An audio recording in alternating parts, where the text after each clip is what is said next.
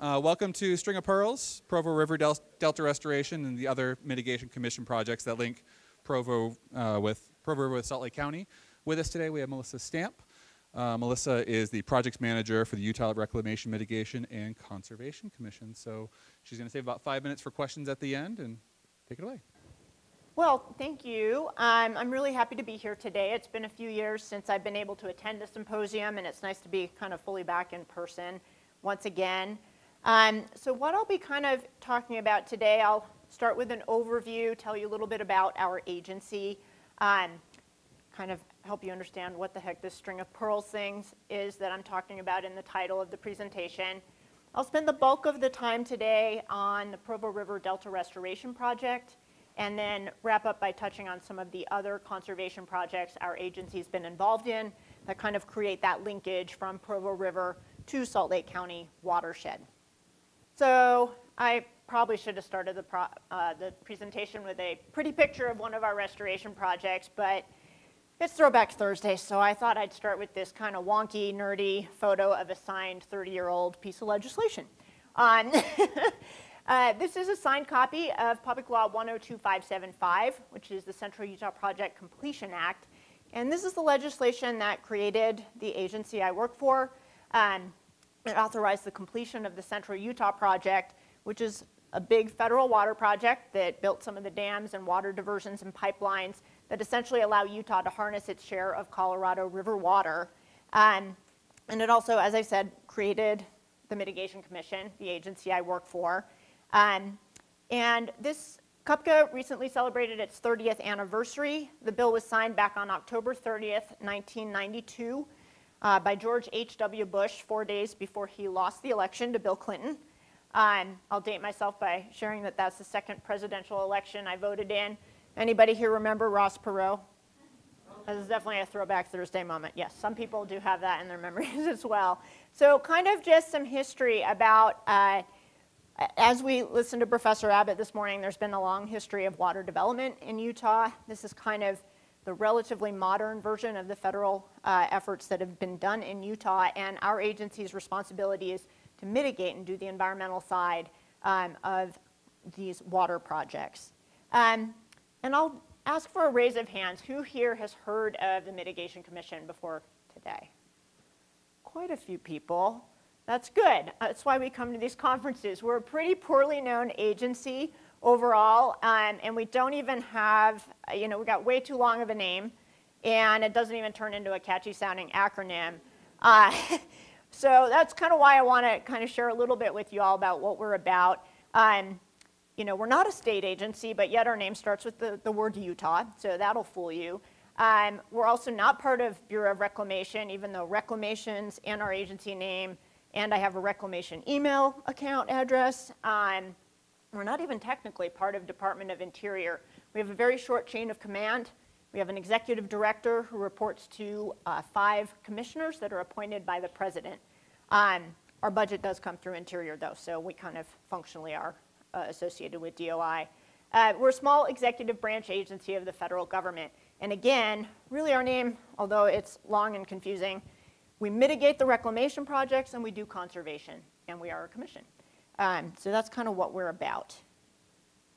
I also want to mention we have a small staff. We have 12 people on our staff. And so really the only way our agency has been able to complete projects like the ones I'll tell you about here today are through partnerships. And this is a list from our annual report of all these different entities that we've had uh, funding agreements or other partnership arrangements with over the agency's history. Uh, the ones, the logos on the left are some of our key partners with the Delta project. There are many more even just beyond those uh, logos that are shown there, however. I also want to highlight that uh, our staff um, was involved in creating many of the slides I'll share here today, so much credit goes to them and acknowledgement. Um, so this is kind of a little bit of a map of what we do. There's a lot going on here.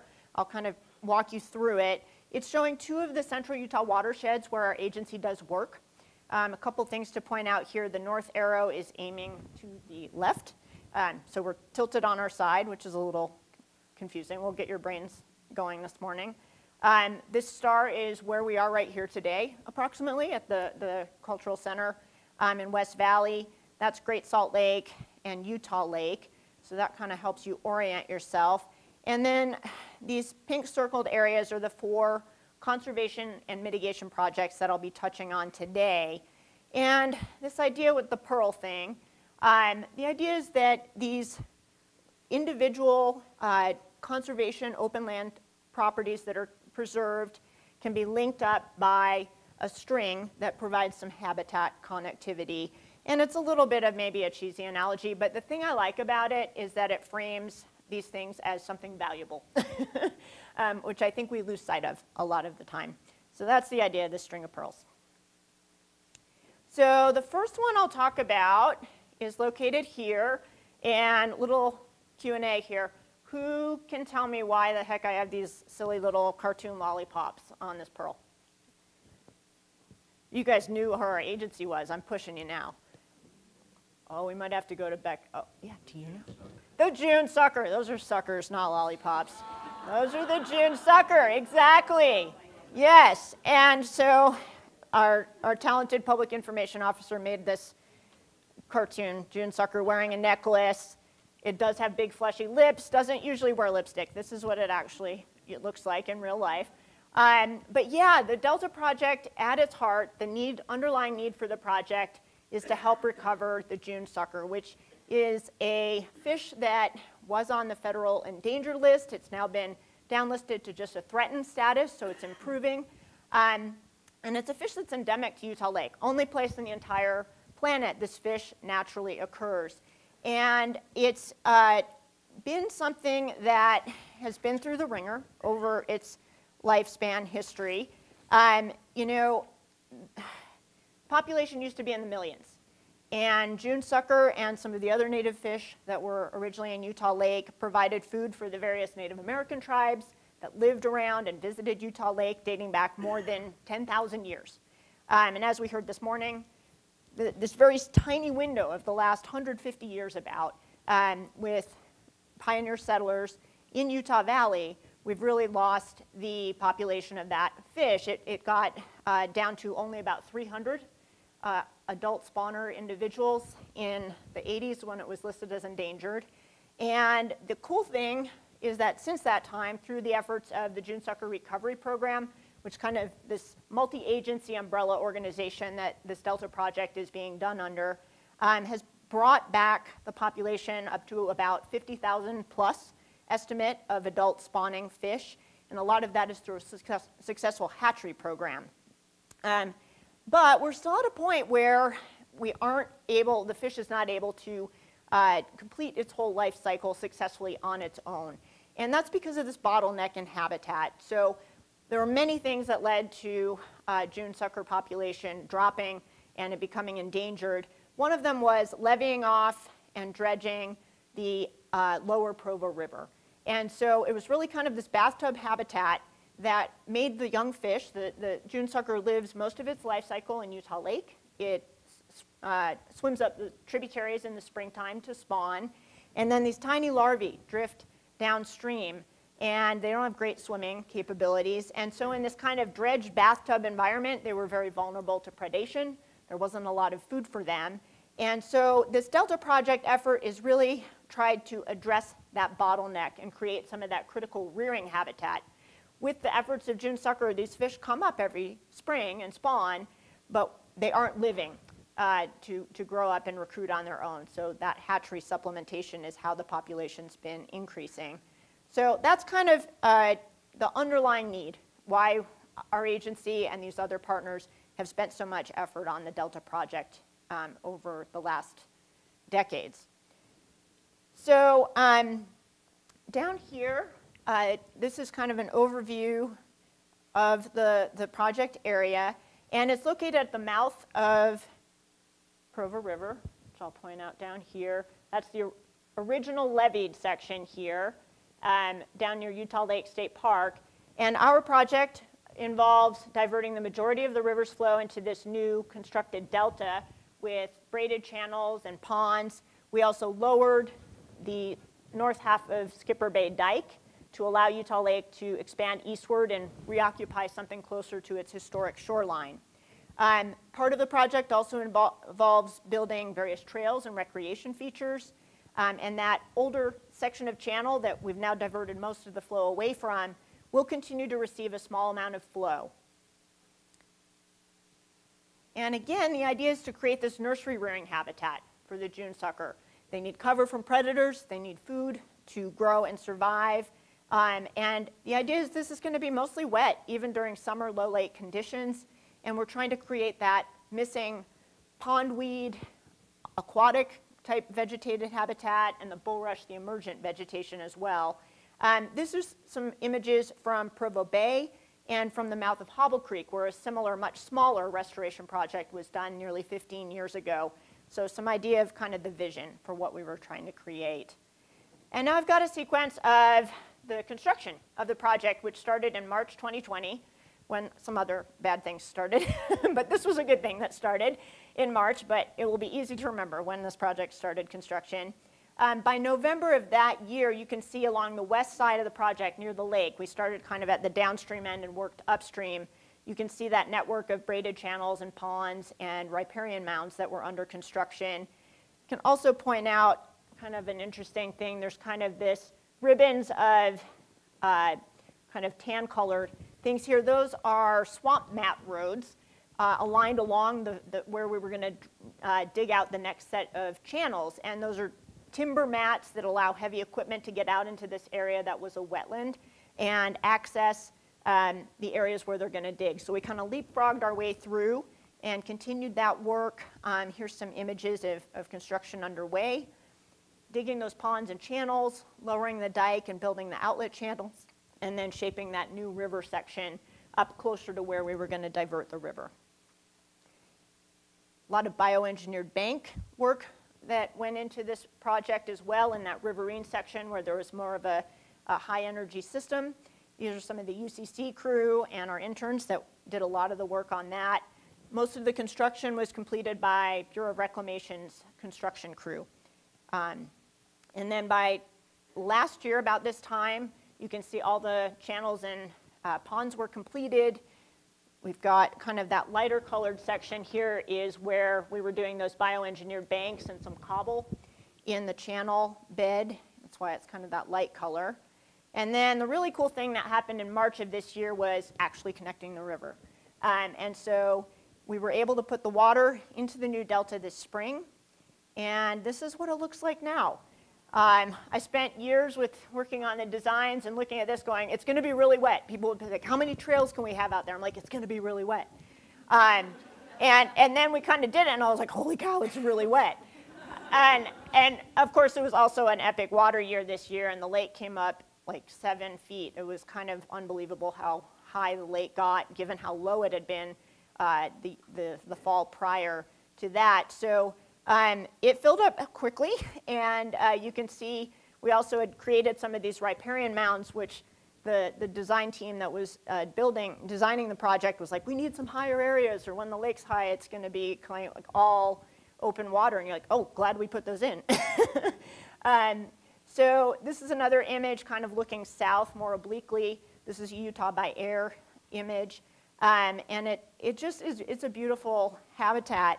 And um, kind of you can see the, the dike being partially, the lower dike being partially inundated and that new connection we've created.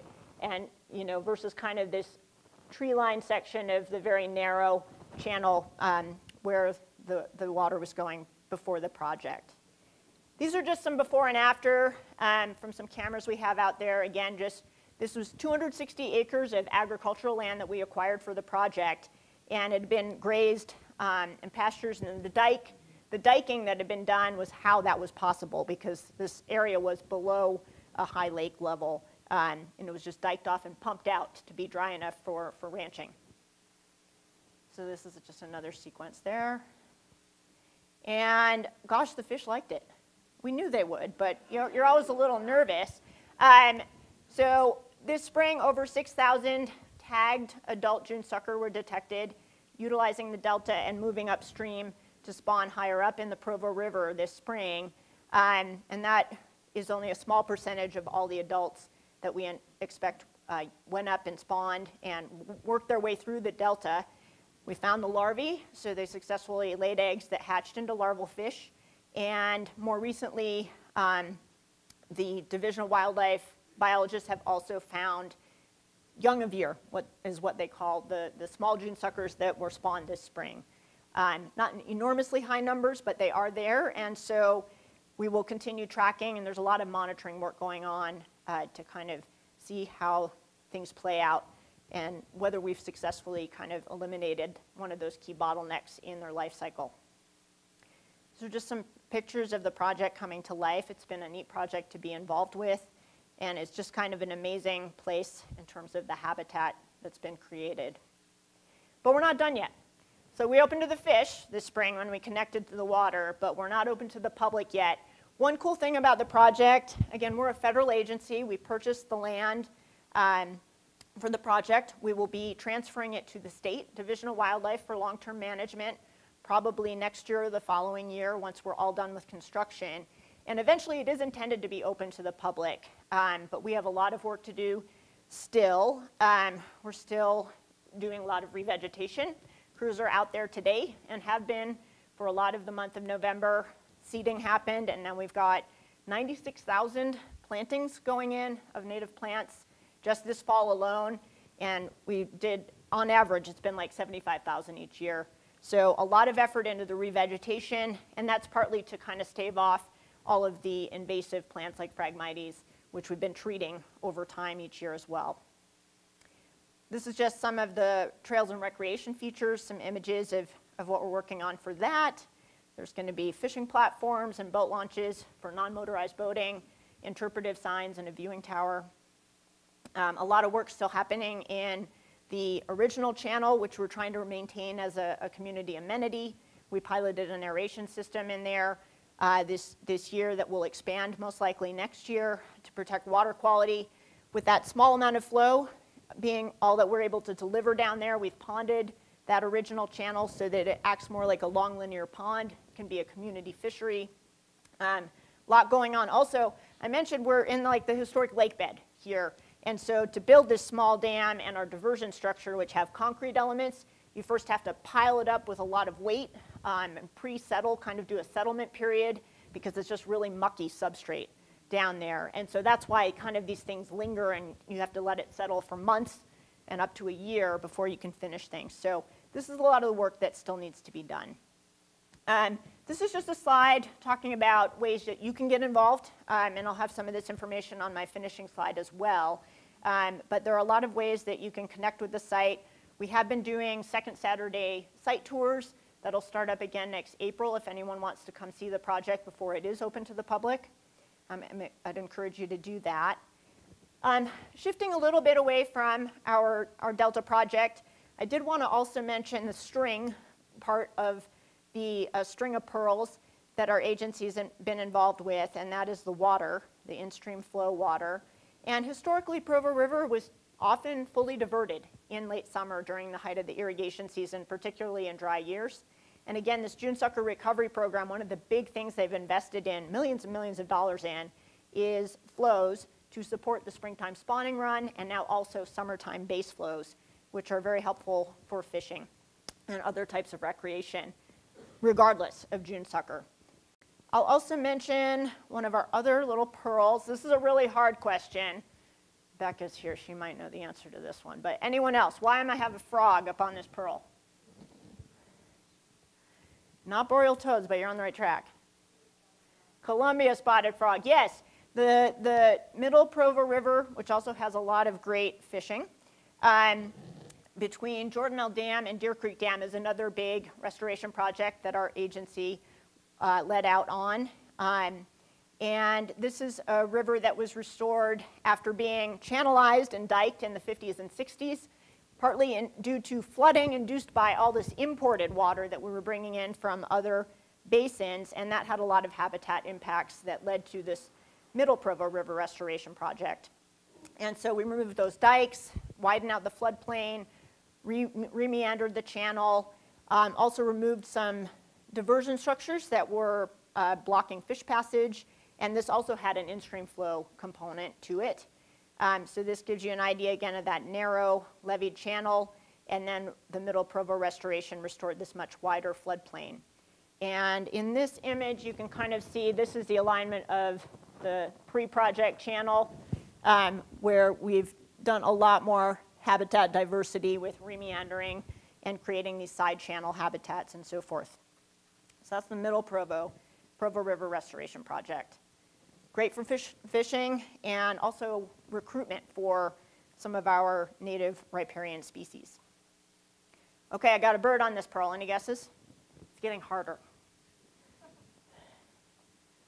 I don't think anyone's, so everybody here go up to our table that talks about our Jordan River properties. Um, when you go up the stairs, take a hard right, and we have a table that talks a little bit more about our Jordan River properties. This is a, a portion of uh, lands that our agency purchased for conservation known as Jordan River Migratory Bird Reserve. Um, it's about 100 acres, and Eric McCulley on our staff has been working really hard both to improve habitat out there, reduce the weed problems, uh, get a lot of volunteers and school groups and entities involved with the project and restoring it um, and maintaining the restoration. This is Willow Creek, one of the Salt Lake County streams um, that feeds into the Jordan River. And this is work that wasn't on the Jordan River property, but on its floodplain where Willow Creek comes in. And we've been in communication. This is kind of, our, our agency is not intended to manage land long term. We are in, actually intended to sunset once the Central Utah project is fully complete. And so one of the things we're trying to do is figure out entities that will take on and manage these properties uh, in perpetuity. So we've been having conversations with Jordan River Commission, Forestry Fire State Lands, um, and we also have other Jordan River properties. So if anyone would like a conservation property, also find us at the table up there. Um, we should talk. So last pearl has a salt shaker. This one's easier, actually. What's that one about? Where would a salt shaker conservation be? Great Salt Lake, I'm hearing it. Yeah, shorebirds are also happening here. So this is the Great Salt Lake South Shore Preserve. This is one of the projects our agency is a mitigation commission, but also a conservation agency. And this is where we've been more in a support role all along. Um, mitigation commission did purchase uh, some of the properties and easements that are part of National Audubon Society's Gillmor Sanctuary. And we are right now, we're just about wrapped up with uh, a NEPA effort and we'll be transferring deeds to Audubon for their continued long-term management. They've been managing this property all along on the south shore of Great Salt Lake. Sometimes our agency kind of acts like more of a nature conservancy in that way. Um, many mitigation commission projects are poorly known, but we're in the mix in more than you might realize in the state. And I kind of just wanted to wrap up with some thoughts about why these pearls matter. Um, and I think, you know, I've got the big subdivision, generic subdivision photo here from the internet on the slide. And as we know, Utah's one of our fastest growing states in the country. I've been with this agency for about eight years, and it's not surprising, but it is still a little bit shocking to watch development creep right up to the edge of our conservation property borders, particularly on the Jordan River properties. You know, oh, that used to be a fence and an agricultural pasture, and now it's this giant 20 foot high concrete retaining wall holding up a new apartment complex or a new hotel. And so it's very clear that if our agency wasn't in the mix, acquiring these properties 20 some years ago, they would be developed now. There's not a lot standing in the way. Uh, Utah, as a state, doesn't have shoreline protection laws like some other states do. Um, I'm excited to see there's, I think, on the schedule some talks this afternoon about riparian conservation and maybe some new policy push to do something a little bit more like that. Um, I'm hopeful that that's the case. Um, and I think so it's, it's very important or we, we, will lose them. So it's important that we had these conservation pearls uh, connected. I also think that one of the things our agency has done, and, and I'm being a little facetious about, if you want a conservation property, come talk to us.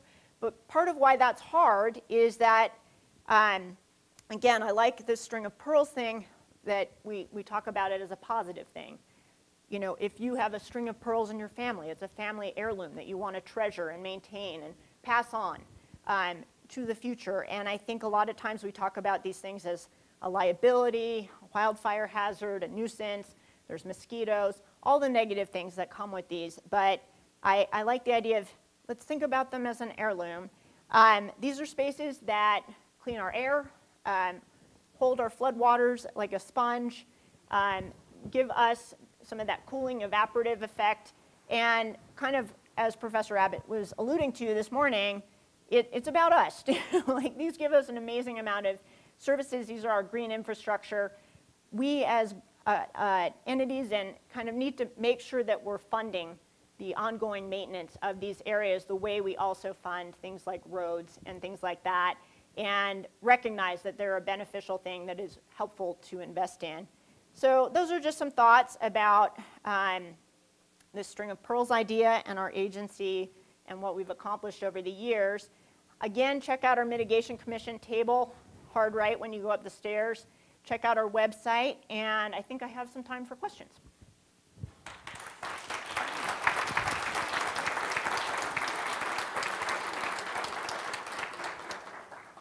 Yeah. Yeah, good question. The question was whether we've been tracking carp and how that's progressing in the Delta area. And the answer is yes, we are paying attention to the carp. We don't have trackers on the carp as far as I know, um, but there are definitely plenty of carp in there. One of the things we did, as I mentioned, we partially lowered, we did not completely lower the dike. Um, and part of the reason to partially lower it was so that we could have water uh, in, the, in the delta even when the lake gets super low. Um, so kind of cutting off some of the wider fluctuations that the full lake uh, experiences. But the other good thing about having those outlet channels, we have some kind of ugly looking concrete blocks on either side, but the idea is when the lake is low, you'd be able to string a picket weir across there and block adult fish migration, and that's an opportunity for the biologists to really maybe get in during carp uh, uh, spawning season or something like that and really target and remove some of those fish. And the carp don't eat the June sucker per se, but they dig up a lot of that plant, uh, aquatic rooted vegetation, change water quality, all those fun things. And so it's interesting. We are tracking it. There's some this aquatic vegetation monitoring that Utah State students are doing. Um, and it's all part of the June Sucker program has funded a lot of the carp removal. So that will definitely be part of it going on. Any other questions? Yeah. Uh, just, I guess, thinking about encroachment, are there safeguards in place or plans to preserve connectivity between the pearls? You know, I wouldn't say so specifically um, in the sense that I'm not sure. It's interesting. Our agency kind of was created and we almost inherited this laundry list of tasks related to even prior to kind of first incarnation of Central Utah Project, not just the 90s version. The 50s version was the original version. And so I'm not sure they've been thought of in this very connectivity focused way, but very much so that the in-stream flow component is something that our agency and we partner all the time with Central Utah Water Conservancy District and Department of Interior's CUPCA office and very much committed to maintaining that connectivity, and it's some of it's required by law. Um, and so, as you know, it's always a challenge with, there's always those threats. Um, I think it actually is a fairly decent corridor. Uh, Jordan River is spotty, I think as everybody in this conference is well aware, and has been a challenge to make mo more coherent. Um, but that work is ongoing. So I would say there's work ongoing on Jordan River connection piece. And Provo River has, you know, the section where we did the middle Provo River restoration project is connected. Provo Canyon has some protections, Forest Service land and things like that. But then we have the urban section that I don't think is ever going to be a full green ribbon, but that would be a great vision. but there's a lot of development already in there. Yeah, good question. Anyone else? One in the back. Yeah. for bank stabilization. Yeah, out in most of the Delta area, it is lake, uh, kind of lake level and that lower dike is setting the water level out there. So it's a very low energy, slow moving water environment, and we did not do any bank stabilization there. Um, although we are anticipating a lot of bulrush and things like that, sort of providing some of that stability, and a lot of re-veg went into that. that section between the diversion and kind of the influence of the backwater is where we did, we did line the majority of those banks with these bioengineered uh, soil lifts, which are a very dense coconut fiber mat with kind of almost, I call them dirt tacos sometimes. It's almost like a burrito. Becca's here. She can tell you all about installing them because she did that a lot this year um, as an intern with uh, an individual placement through Utah Conservation Corps with us. Um, and so that, and then you, you poke willow stakes through them to try to get that growing. So the idea is it's not a rocky area, it's the lake bed. And you want the vegetation to ultimately be able to hold the banks together. Um, and you jumpstart that process with these coconut fiber materials that will biodegrade. Good question. All right, well, thank you, everybody.